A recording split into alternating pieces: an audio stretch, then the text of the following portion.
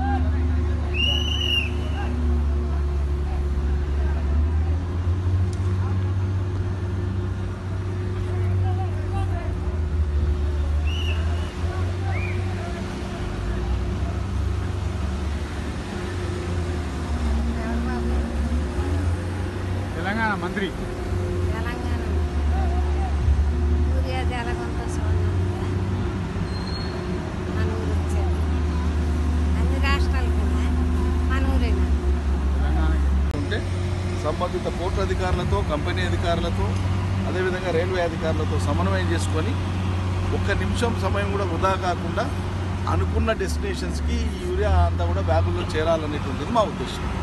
అంటే ఇదేంటంటే మీకు తెలుసు దీని అప్లికేషన్ అంతా కూడా స్పెసిఫైడ్ టైంలో జరుగుతుంది. ట్రాన్స్ప్లాంటేషన్ అయిన తర్వాత ప్యాడీ కానీ లేకుంటే మక్క చేను ఉన్నప్పుడు కానీ పత్తి చేను ఉన్నప్పుడు కానీ ఇతర వ్యవసాయ పంటలు ఏమున్నా కూడా నిర్దిష్టమైన సమయానికి అప్లై చేయాల్సి ఉంటుంది.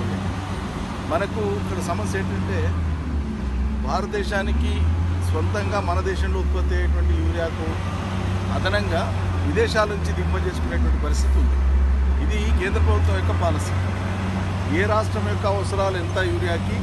ఒక సీజన్కి ముందే ఆయా రాష్ట్రాల ఇండెంట్ను కేంద్ర ప్రభుత్వం తీసుకొని దానికి అనుగుణంగా ఈ దేశంలో ఉండేటువంటి వివిధ ఫర్టిలైజర్స్ కంపెనీస్కు సంబంధించి వాళ్ళు ఆర్డర్ ఇచ్చేస్తారు. మీ మీ మీ కంపెనీకి ఇంత అలాట్ చేసినాం మీ కంపెనీకి ఇంత అలాట్ చేసినామని ఆర్డర్స్ ఇచ్చేస్తారు. ఆ అలాట్ చేసినటువంటిది ఈ షిప్స్లో వచ్చేటువంటిది మొత్తం వైజాగ్ కానీ గంగవరం కానీ కాకినాడ కానీ కృష్ణపట్నం కానీ ఈ పోర్ట్స్లోకి భారీ వెజిల్స్లో వచ్చిన తర్వాత ఇగో ఇది ప్రాసెస్ మీరు చూస్తున్నటువంటిది ప్రాసెస్. వర్షం లేకుండా ఉండాలా?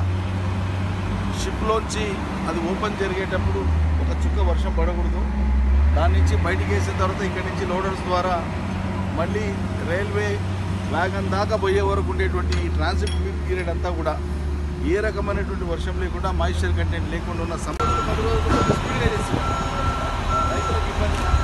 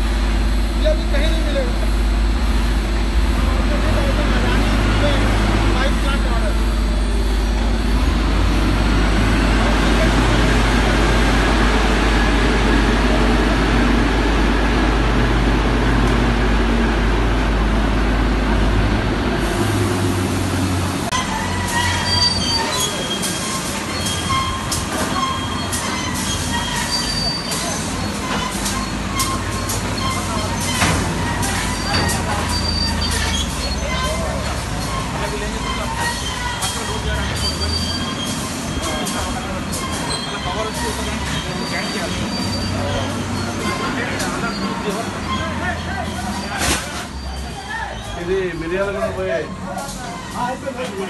ఇవాళ ఈవినింగ్ డిస్పాచ్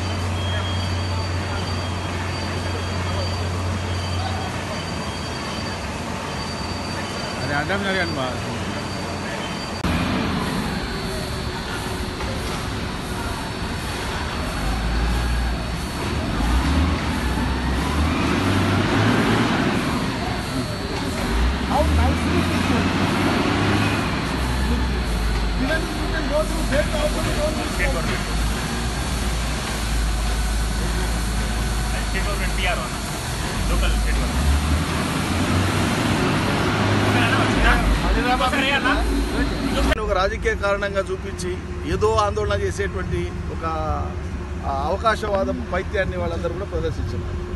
ఇది యథార్థం కాదు యథార్థం ఇది చూడండి అని చెప్పి షిప్ వచ్చిన పాయింట్ నుంచి రైతుకు డెలివరీ అయ్యేదాకా ఉన్న టోటల్ మెకానిజంను ప్రాక్టికల్గా రైతాంగానికి చూపించాలనేటువంటి ఉద్దేశంతోనే మేము పర్యటన పెట్టుకోవడం జరిగింది. సార్ తెలంగాణలో ఎంత రిక్వైర్మెంట్ ఉంది సార్? ఇప్పుడు స్టార్ట్? మేము ఈ వర్షాకాలానికి గాను ఎనిమిదిన్నర లక్షల మెట్రిక్ టన్నుల రిక్వైర్మెంట్ ఇచ్చాము. మాకు ఇప్పటికీ దాదాపు ఏడు లక్షల మెట్రిక్ టన్నులు కేంద్ర ప్రభుత్వం ఇప్పటికీ అలాట్ చేసింది. వీళ్ళు కూడా చేరిపోయింది. మరొక లక్ష లక్ష ముప్పై నలభై వేల మెట్రిక్ టన్నులు రావాలి. అది కూడా ట్రాన్సిట్లో వచ్చేస్తుంది. రావడానికి ఏమి ఇబ్బంది లేదు. అక్కడేమీ అసౌకర్యం లేదు. కేంద్ర ప్రభుత్వం మీదనో లేకుంటే ఇంకెవరి మీదనో మేము నెపం వేయట్లేదు. This is nothing but act of God అంటాను అంటే మీకున్న సమాచారం ఎప్పటిలోపల ఆ రైతులకి పూర్తి స్థాయిలో ఇంకేం లేదు హండ్రెడ్ పర్సెంట్ చేరుతా ఉంది. మొదటి నుంచి చేరుతా ఉంది. నేను ఇంతకుముందు చెప్పింది అదే. మ ఏడు వేల పైచిలకు కేంద్రాల ద్వారా సరఫరా అయ్యేటువంటి యూరియాను ఒక రాజకీయ కారణంగా చూపించి ఏదో ఆందోళన చేసేటువంటి ఒక అవకాశవాద పైత్యాన్ని వాళ్ళందరూ కూడా ప్రదర్శించారు. ఇది యథార్థం కాదు యథార్థం ఇది చూడండి అని చెప్పి షిప్ వచ్చిన పాయింట్ నుంచి రైతుకు డెలివరీ అయ్యేదాకా ఉన్న టోటల్ మెకానిజంను ప్రాక్టికల్గా రైతాంగానికి చూపించాలనేటువంటి ఉద్దేశంతోనే మేము పర్యటన పెట్టుకోవడం జరిగింది. సార్ తెలంగాణలో ఎంత రిక్వైర్మెంట్ ఉంది సార్? ఇప్పుడు ఎంత స్టార్ట్ అయింది? మేము ఈ వర్షాకాలానికి గాను ఎనిమిదిన్నర లక్షల మెట్రిక్ టన్నుల రిక్వైర్మెంట్ ఇచ్చాము. మాకు ఇప్పటికీ దాదాపు ఏడు లక్షల మెట్రిక్ టన్నులు కేంద్ర ప్రభుత్వం ఇప్పటికీ అలాట్ చేసింది. వీళ్ళు కూడా చేరిపోయింది. మరొక లక్ష లక్ష ముప్పై నలభై వేల మెట్రిక్ టన్నులు రావాలి. అది కూడా ట్రాన్సిట్లో వచ్చేస్తుంది. రావడానికి ఏమి ఇబ్బంది లేదు. అక్కడేమీ అసౌకర్యం లేదు. కేంద్ర ప్రభుత్వం మీదనో లేకుంటే ఇంకెవరి మీదనో మేము నెపం వేయట్లేదు. This is nothing but act of God అంటాను అంటే మీకున్న సమాచారం ఎప్పటిలోపల ఆ రైతులకి పూర్తి స్థాయిలో ఇంకేం లేదు హండ్రెడ్ పర్సెంట్ చేరుతా ఉంది. మొదటి నుంచి చేరుతా ఉంది. ఇంతకుముందు చెప్పింది అదే. ఏడు వేల పైచిలకు కేంద్రాల ద్వారా సరఫరా అయ్యేటువంటి యూరియా